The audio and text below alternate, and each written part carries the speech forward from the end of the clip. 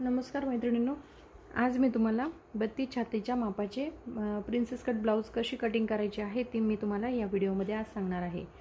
Video जर तुम्हाला आवडला तर व्हिडिओला लाईक करा शेअर करा आणि आमच्या चॅनलला सबस्क्राईब करा. आता हे बघा ज्यावेळेस आपण मापं काढतो तर कुठली कुठली मापं आपल्याला प्रिन्सेस कट ब्लाऊजसाठी घ्यावी लागतात? तर आपल्याला छातीचं माप घ्यावं लागतं. तर छातीचं माप आहे आपलं बत्तीस इंच. बत्तीस छातीच्या मापासाठी आपण ही मापं घे काढलेली आहेत. आणि दुसरं म्हणजे त्याचा वन फोर्थ काढलेला आहे आपण आठ इंच.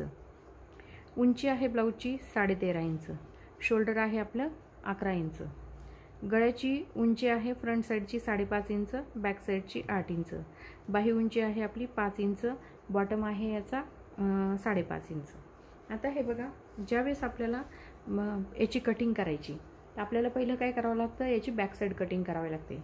आता बॅक साईड कटिंग करायची म्हणजे त्यासाठी आपल्याला काय घ्यावं लागतं? पहिली उंची घ्यावी लागते. साडेतेरा इंच उंची आहे तर आपण काय करणार आहोत? त्यामध्ये एक इंच मिळवणार म्हणजे साडे चौदा इंच आपण इथे घेणार आहोत. हे बघा साडे चौदा इंचावर आपण इथे मार्किंग करायचं. आता साडे चौदा इंचावर मार्किंग केल्यानंतर इथे आपलं शोल्डर किती आहे? अकरा इंच. शोल्डरचा हाफ किती येतो आपला? साडेपाच इंच. मग आपण काय करणार आहोत? साडेपाच इंचावर एक मार्किंग करायची. आता साडेपाच इंचावर एक मार्किंग केल्यानंतर इथे सव्वा दोन इंचावर एक मार्किंग करायची. गळा रुंदी घेतली आपण सव्वा दोन इंच.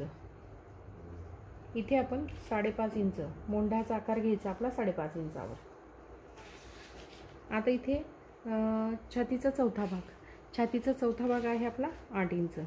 मग आपण काय करणार आहोत? आठ इंचावर एक मार्किंग करायचं. आणि त्यामध्ये दीड इंच घ्यायचं. म्हणजे साडेनऊ इंच.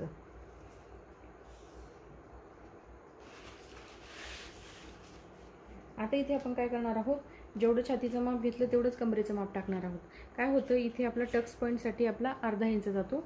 टक्स पॉईंटसाठी अर्धा इंच प्लस दीड इंच घ्यावं लागतं. कमरेचा चौथा भाग प्ल- टक्स पॉईंटसाठी एक इंच आणि प्लस दीड इंच. अशा पद्धतीने आपल्याला हे माप काढावे लागतात. आता इथे आपल्याला सरळ एक रेष मारून घ्यायची. हे होतं आपलं फिटिंगची फिटिंगची टीप. आता आपल्या नेक नेक किती आहे? आठ इंच. बॅक साईडचा नेक किती आहे? आठ इंच. आपली बॅक साईडची उंची आहे. तर आता इथे मी आठ इंचावर एक मार्किंग करणार आहे. आठ इंचावर मार्किंग केल्यानंतर आठ इंचाचा आपल्याला हा आकार देऊन घ्यायचा.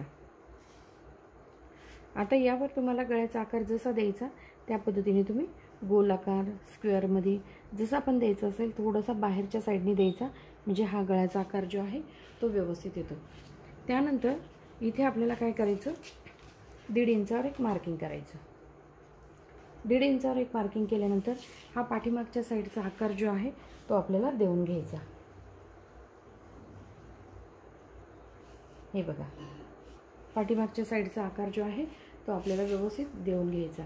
आता हे खूप सोप्या पद्धतीने मी तुम्हाला सांगितलं. छातीचा चौथा भाग.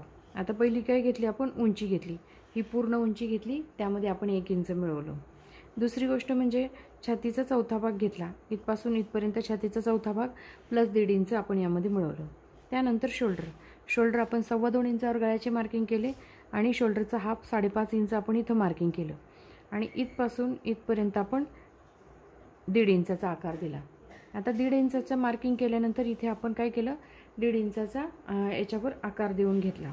आता त्यानंतर हा गळ्याचा आकार देऊन घेतला. आता हे बघा आपण याची कटिंग करूया. आता याची कटिंग करताना इथे आपल्याला जे साईडचा पार्ट आहे इथे आपल्याला कट करायचा आहे. आता हा आपण गळ्याची कटिंग नाही करणार. याला आपण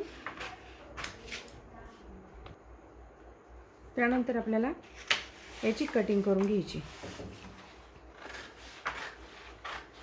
जे मार्किंग आपण केलेलं आहे त्याच्यावरच आपण याची कटिंग करायची.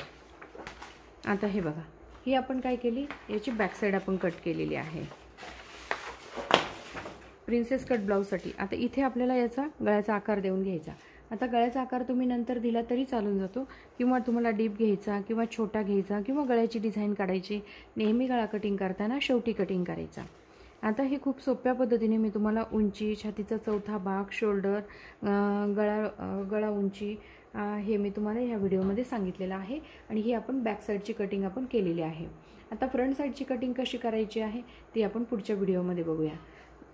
व्हिडिओ जर आवडला तर व्हिडिओला लाईक करा शेअर करा आणि आमच्या चॅनलला सबस्क्राईब करा. धन्यवाद.